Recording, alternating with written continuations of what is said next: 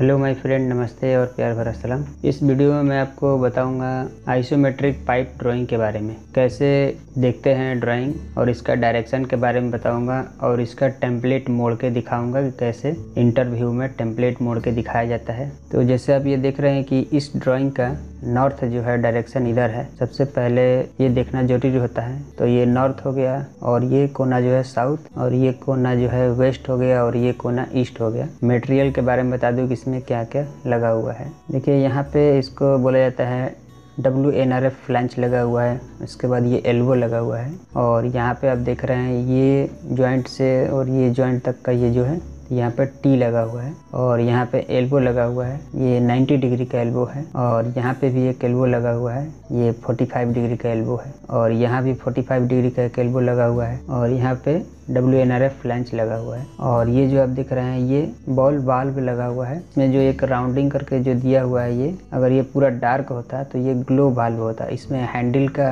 Symbol नहीं दिया है, ये डायरेक्ट ऐसे ही दे दिया है P N I D drawing की तरह। इसमें हैंडल का डायरेक्शन नहीं है कि किधर रहेगा, क्या रहेगा। सिर्फ़ इसमें यही दिखा रहा है कि ये फ्लेंजेड बॉल बाल्ब है। दोनों तरफ़ फ्लेंजेड मतलब बोल्टिंग सिस्टम रहेगा। उसके बाद यहाँ आते हैं तो ये देखिए वेल्डोलेट की तरह है, लेकिन इसको सोकोलेट बोला जाएगा। क्योंकि यहाँ पर देखिए, एक यहाँ पर रेखा जैसा निकला हुआ है इस तरीका से। यहाँ पे जो रहेगा, सॉकेट वेल्ड रहेगा। इस तरीका का जो वेल्डोलेट भी बोला जाता है तो इसमें क्या है कि जब सॉकेट वेल्ड एक साइड रहेगा तो वो हो गया सोकोलेट। अगर यहाँ भी बट वेल्ड होता तो जैसे यहाँ पे डार्क वेल्डिंग का दे रहा है सिंबल तो यहाँ पे भी इस तरीका से डार्क सिंबल देता। तो ये वेल्डोलेट हो जाता है, लेकिन ये सोकोलेट है। उसके बाद यहाँ पे एक निप्पल हो गया ये पाइप का और उसके बाद यहाँ पे जो दिख रहे हैं सॉकेट वेल्ड बॉल वाल्व यहाँ भी लग रहा है। और इसको क्या बोला जाता है? अगर कोई इंटरव्यू में पूछ दिया आपसे तो, तो इसको ड्रेन बोला जाता है ड्रेन पॉइंट फिर उसके बाद हम आगे आते हैं यहाँ फ्लेंजेड बॉल वाल्व लगा हुआ है। फिर उसके बाद फ्लेंज लगा हुआ है। फिर यहाँ पे आते हैं तो ये नाइन्टी डिग्री का एल्बो लगा करके यहाँ पे डाउन हो गया। और यहाँ भी वही वाल्व है। यहाँ भी वही सिस्टम है जो मैं आपको अभी बताया। और ये भी वही वाल्व है।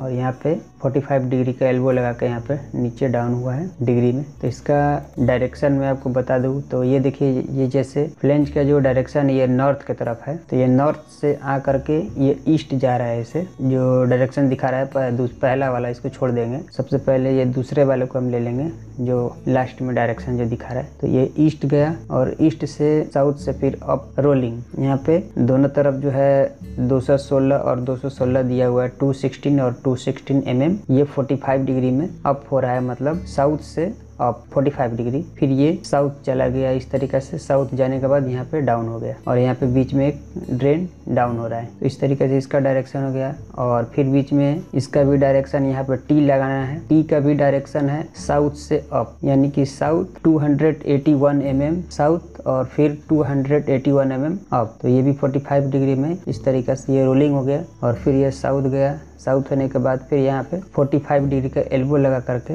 और इसमें डायरेक्शन जो दे रहा है रोलिंग का, अब इसमें उल्टा दे रहा है। इसका डायरेक्शन इधर से किया जाएगा। हमेशा देखिए ये जो लाइन है, जिधर छोटा होते जाता है, वो पहला डायरेक्शन होता है। तो यहाँ पे देखिए डायरेक्शन इधर से है। तो इसका डायरेक्शन है नॉर्थ से अप। इस तरीके से इसमें डायरेक्शन दे रहा है, नॉर्थ जाके अप हो रहा है। इधर अगर हम लेंगे तो साउथ में जाके डाउन हो गया। इस तरीके से होगा तो ये भी 45 डिग्री में है।